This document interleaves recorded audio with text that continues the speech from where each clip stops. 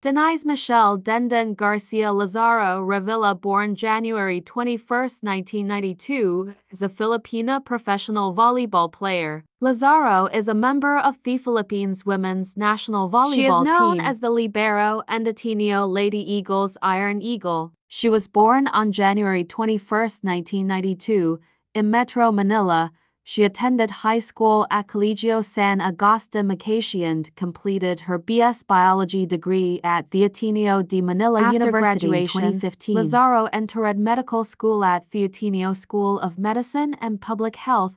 However, by the end of 2016, it was reported that Lazaro filed a leave of absence from her schooling to resume her volleyball career.